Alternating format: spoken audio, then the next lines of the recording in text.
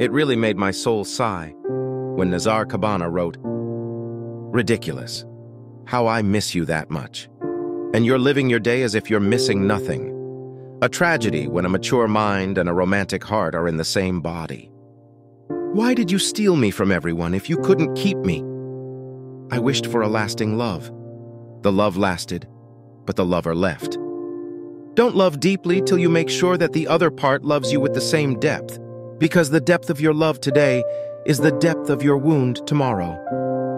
Days will pass, and you'll abandon things you were addicted to, and leave someone, and cancel a dream, and finally accept a reality. This is my last letter. There will be no others. This is the last gray cloud that will rain on you.